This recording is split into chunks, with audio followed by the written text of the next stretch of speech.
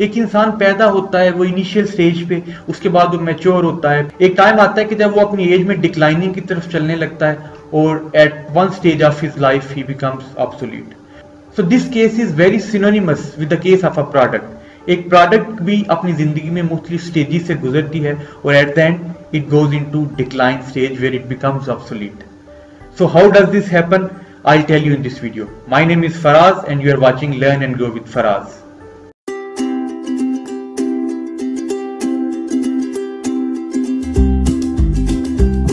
Product life cycle. This is a topic which I have selected for our today's discussion. Product life cycle है क्या? In fact, product life cycle is a combination of few stages जिसको मैं one by one discuss करूँगा with some practical examples and it I'll try to make it easy and understandable for you.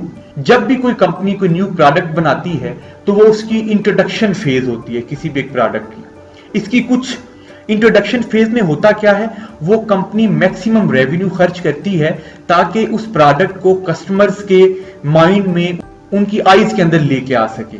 ठीक है? इसमें जो technical चीज़ है that you should understand वो ये है कि जो लास्ट मेकिंग प्रोपोजिशन होता है कंपनी का, वो इंट्रोडक्शन फ़ेज़ में ज़्यादा होता है। कंपनी मार्केटिंग पे एक्सपेंस कर रही होती है। मुख्तलिफ़ सेमिनार्स मुख्तलिफ़ इवेंट्स ताकि लोगों को शॉपिंग मॉल में जा जाके just to make people know about that product to give them a realization about the new product so loss making proposition definitely high है क्यों क्योंकि इसमें expenses बहुत ज़्यादा incur हो जाते हैं और cost ऊपर चली जाती है जो दूसरी फ़ेज़ है दिस इज़ वेरी इंपॉर्टेंट वो है ग्रोथ फ़ेज़ अब लोगों को प्रोडक्ट का पता चल चुका है इनिशियल स्टेज पे जो एफर्ट्स की गई थी लोगों के माइंड में एक उसका इमेज क्रिएट होना शुरू हो चुका है सोशल मीडिया के ऊपर और फिजिकली भी ईमेल्स के थ्रू मुख्तलिफ़ मार्केटिंग स्ट्रेटेजीज मुख्तलिफ़ मार्केटिंग टेक्निक्स के ज़रिए जो लोगों तक रीच किया गया था, अब उनके माइंड में एक इमेज बन गया ग्रोथ स्टेज में क्या होता है? जब लोग they start adapting your product they start consuming your product इसमें क्या होता है? ग्रोथ मार्जिन बढ़ जाता है। और जो कर्व है, वो एक स्टीप अपवर्ड ट्रेंड शो करता है, जैसा कि आपको नज़र आ रहा है। ठीक है? इस केस के अंदर जो कंपनी होती है, उनका जो मार्केट शेयर है, वो मैक्सिमम होता है। और जो प्रॉफिट मेकिंग प्रपोजिशन है, वो अपनी पीक पे होती है कर्व भी पीक पे होता है। अच्छा ग्रोथ स्टेज के बाद जो नेक्स्ट स्टेज आती है this is very interesting companies की सक्सेस या फेलियर इस पे डिपेंड कर रही होती है।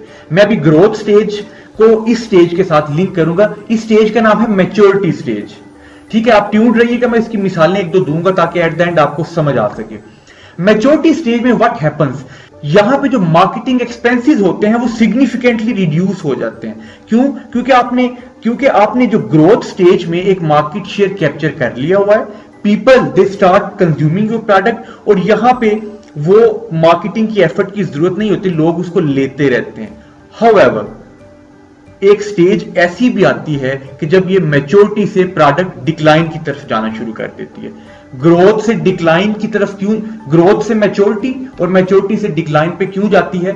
इसकी मैं अभी मिसालें दूँगा तो आपको इसकी समझ आ जाएगी। तो बताना यह था कि मैच्योरिटी स्टेज की जो एंड होती है, वहाँ पे आके डिमांड स्टार्ट रिड्यूसिंग जो लास्ट और फाइनल स्टेज है, वो है डिक्लाइन स्टेज यहाँ पे उसकी डिमांड प्रोडक्ट की कम हो जाती है। कर्व आपको दिखाएगा कि वो बिल्कुल नीचे की तरफ़ and the product become obsolete अब ऐसा होता क्यों है? ये तो मैंने बता दिया एक नट शेल में।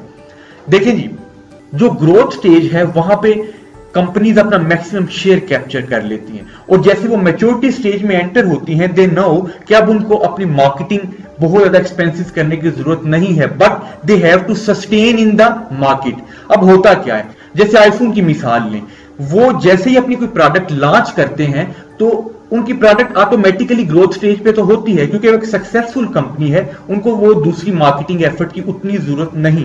बट वट दे डू उनकी, आप स्ट्रेटेजिक पॉइंट ऑफ़ व्यू से उनका जो स्ट्रेटेजिक एज है वो ये कि जब वो जब वो मेच्योरिटी की स्टेज पे आते हैं तो वहाँ पे आकर वो एक नई चीज़ इंट्रोड्यूस करवा देते हैं। जैसे आईफोन 6 लेके आए तो जैसे ही वो मेच्योर हुई आईफोन 6s लॉन्च कर दिया। जैसे ही उसका टाइम गुजरा आईफोन 6s प्लस लॉन्च कर दिया। कुछ न्यू फीचर्स डाले कुछ टच में कुछ कैमरे में डिफरेंसेस किए अपग्रेडेशन की और न्यू फ़ोन लॉन्च कर दिया। सो so, इस वजह से उनका डिक्लाइन नहीं आता। इसलिए कहते हैं कि कुछ कंपनीज़ ऐसी हैं जिनको कभी डिक्लाइन नहीं आता। उनकी भी जो पेट कंपनीज़ है, उनकी मैं मिसाल एंड पे दूँगा। अब सैमसंग की मिसाल लें। अब अगर आप सैमसंग की मिसाल लें तो आप देखेंगे कि सैमसंग ने भी दो सीरीज़ अपनी रखी हुई है।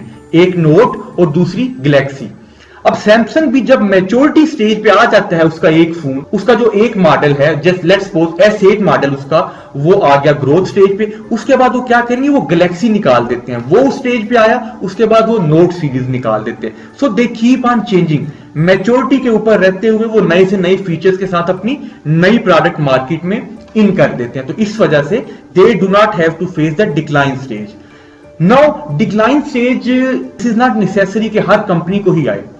ठीक है?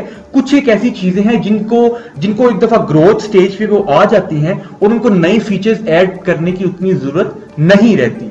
जैसे मैं अभी आईफोन या सैमसंग की मिसाल दे रहा था तो इनको तो अपनी नई नई सीरीज़ लानी पड़ती हैं। ग्रोथ के बाद मेच्योर स्टेज पे जब जाते हैं तो वो सीरीज़ लेके आते हैं। लेकिन ऐसी कंपनीज़ जैसे अगर मैं आपको मिसाल दूँ, आप डॉन ब्रेड अगर आप मेरे पाकिस्तानी व्यूअर्स हैं so you might be familiar with this name Dawn bread अब डॉन ब्रेड अपनी ग्रोथ के बाद मेच्योरिटी स्टेज पे आके एक स्टेबिलिटी में आ चुका है। आप देखेंगे जो इसकी जो कंजम्पशन है या इसकी डिमांड है उसमें कोई खातर खा कमी नहीं आती।